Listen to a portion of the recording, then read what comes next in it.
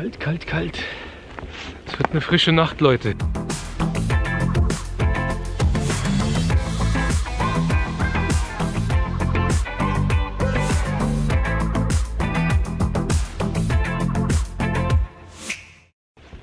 Servus Leute, schön, dass ihr eingeschaltet habt auf meinem Kanal. Ja, es ist schön, ganz schön kalt hier und fühlt sich so an wie minus 4 Grad.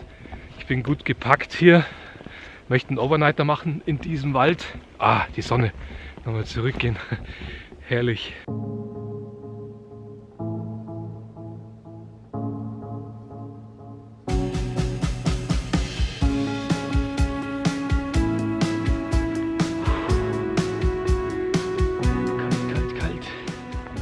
eine frische Nacht, Leute. Ausrüstungstechnisch bin ich da mit dem Biwaksack unterwegs und Tarp. Wird funktionieren, denke ich.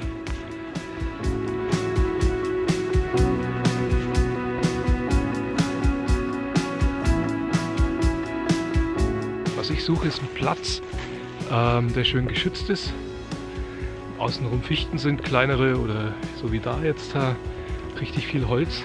Also hier tendiere ich schon hin zu bleiben. Wer die Wahl hat, hat die Qual. Hier ist überall ziemlich schön. Ich bin mir noch nicht so ganz schlüssig, wo ich bleiben werde. Viel Zeit habe ich auch nicht mehr. Eine Stunde, dann wird es dunkel. Also, weiter geht die Suche. So, Rucksack habe ich erstmal abgesetzt. Aber es ist so ganz komische, skurrile Stimmung hier in dem Wald im Moment.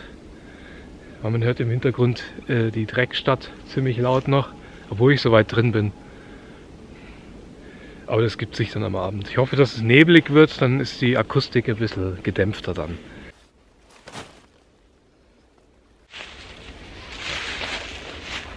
So, ich habe mich ein bisschen umgeschaut und hier ist mit Sicherheit der beste Platz, den ich jetzt finden kann.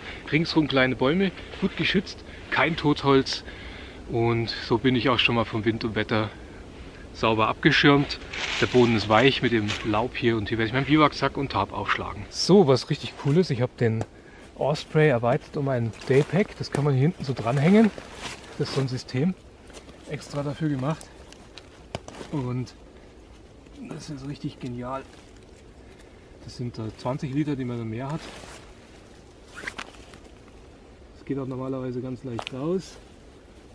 Aber natürlich, wenn die Kamera läuft, nicht. Ist doch eh klar. Verdammt. so, sehr schön. Kann man das sehen? Das ist das D-Pack hier.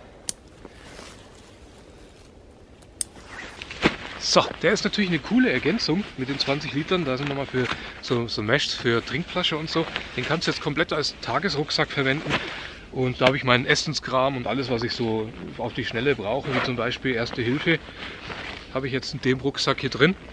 Komme schnell dran. Die Reißverschlüsse gehen auch tipptopp. Ich möchte jetzt kein Review darüber machen, das kann man andermal machen, wer Interesse hat.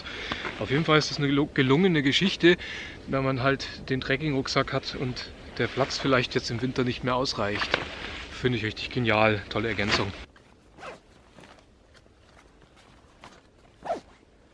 So, Setup wird relativ schnell fertig sein, nehme ich an. Da brauche ich jetzt noch nicht äh, mich beeilen. Wichtiger ist jetzt erstmal Holz zu bekommen.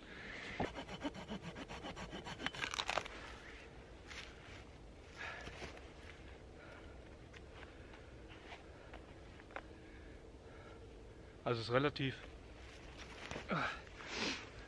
also es ist relativ feucht noch, aber soweit glaube ich könnte das funktionieren. Hm. Also es geht schon. Nass ist es nicht, aber es ist schon ein bisschen feucht. Ich denke aber, dass es gehen wird.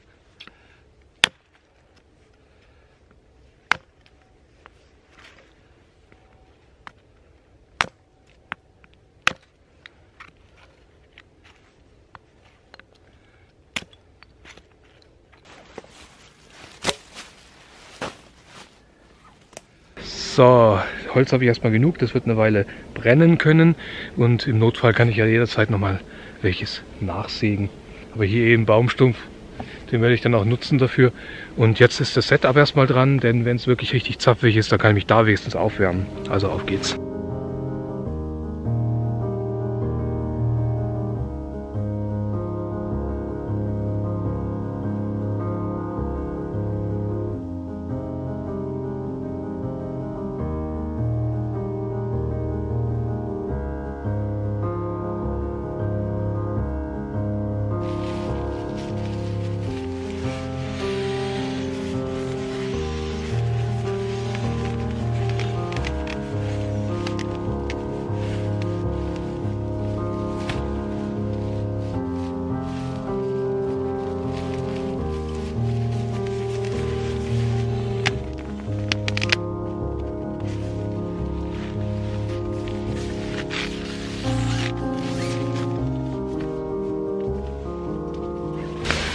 So, wieder der Defense 4 und innen drin habe ich schon den Zweckman reingelegt, beziehungsweise habe ich den so verpackt komprimiert, dass der da schon drin ist, wenn ich ihn nachher brauche.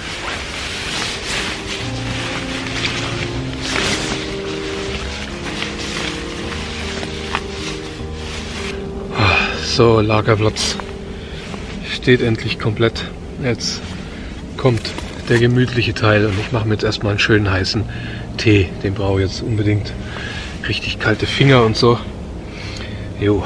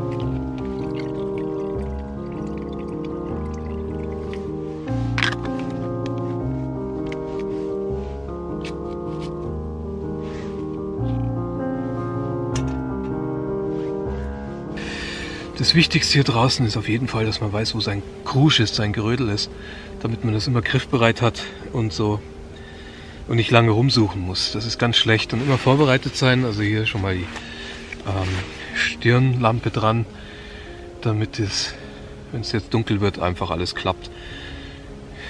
Ist ganz wichtig.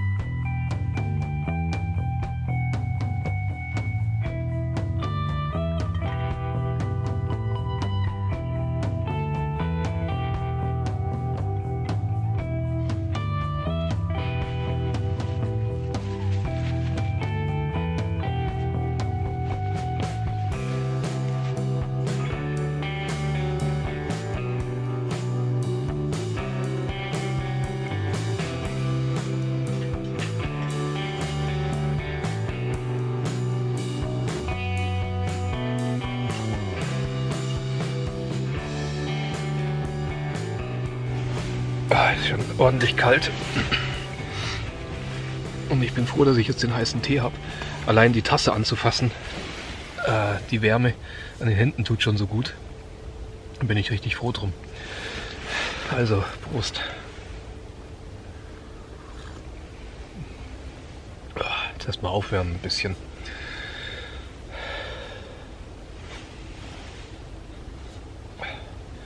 Zuerst Viertel vor fünf.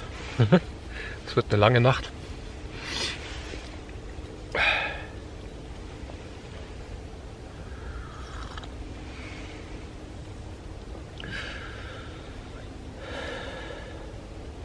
Aber zum Glück passt ja alles. Und wie gesagt, wenn es äh, zu kalt wird, schlüpfe ich einfach in den Schlafsack rein.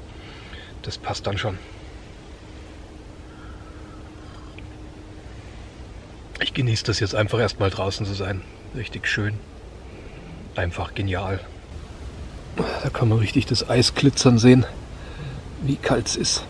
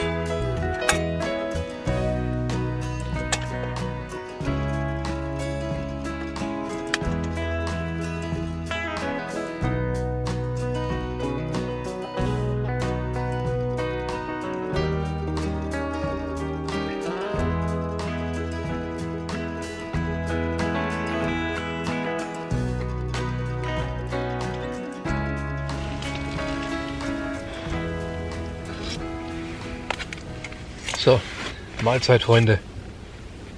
Ich esse jetzt und dann melde ich mich später nochmal. Schaut euch das mal an.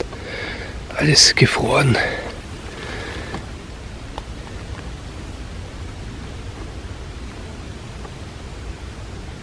Wahnsinn. Ich werde jetzt mal versuchen, ein Feuer zu starten. Also ich war jetzt gerade ein bisschen draußen und habe noch Holz zusammengehackt, ein bisschen an dem Baumstumpf da und äh, ich muss sagen, es ist schon brutalst kalt. Jetzt fröstelt es mich auch schon leicht am Rücken. Und darum freue ich mich jetzt aufs Feuer und bin mal gespannt, ob ich das in, in die Gänge kriege.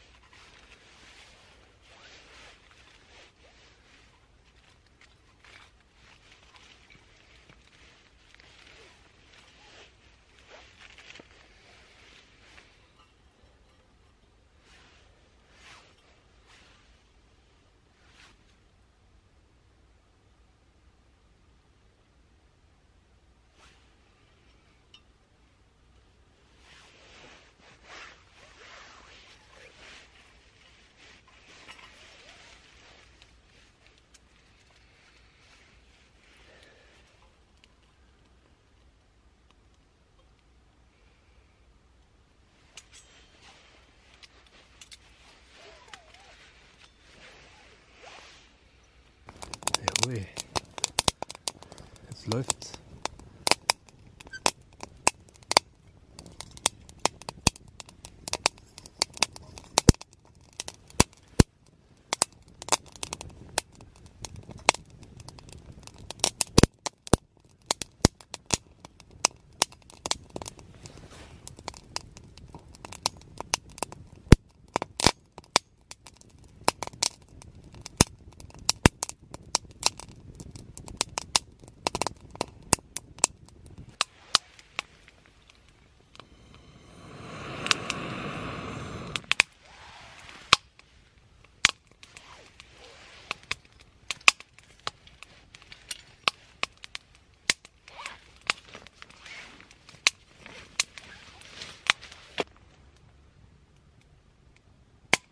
Einfach herrlich. Auch wenn es jetzt kein mega Feuer ist, aber es macht warm ein bisschen und vor allen Dingen gemütlich.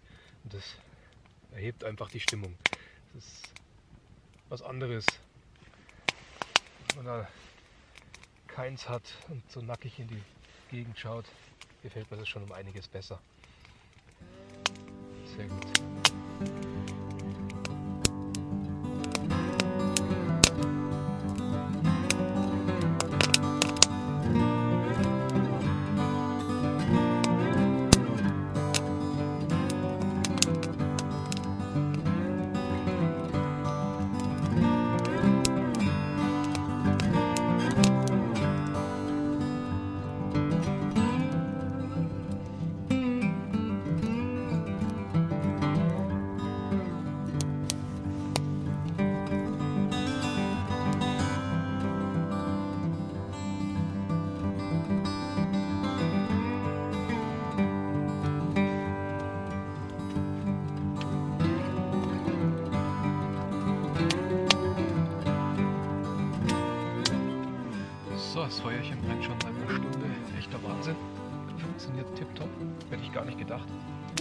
Aber so nass war das Holz eben auch nicht. Echt super Sache. Der Huber macht seinen Dienst einfach sehr gut. Von unten befeuert oder von oben, das spielt da gar keine Rolle. Das geht einwandfrei. So, und dazu gibt es natürlich ein Bierchen. Und deswegen sage ich mal Prost, Freunde.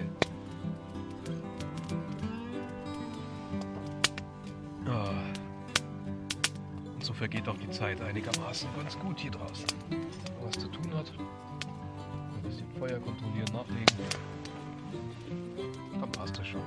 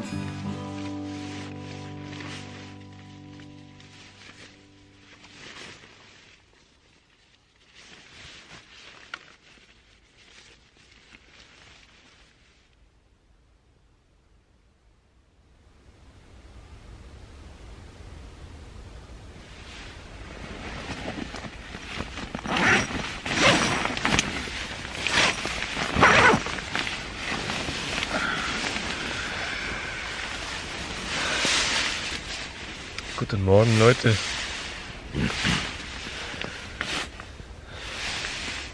Sieben Uhr fünfundvierzig.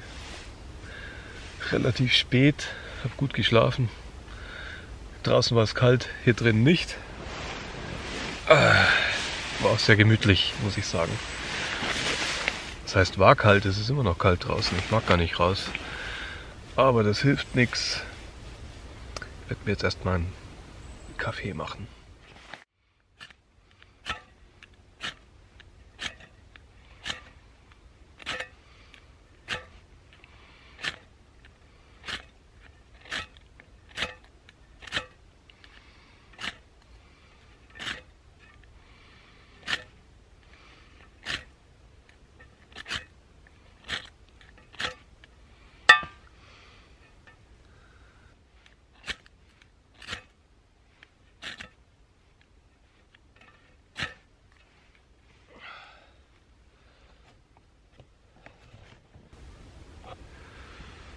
So, den Trangier kriege ich nicht an, der ist zu kalt.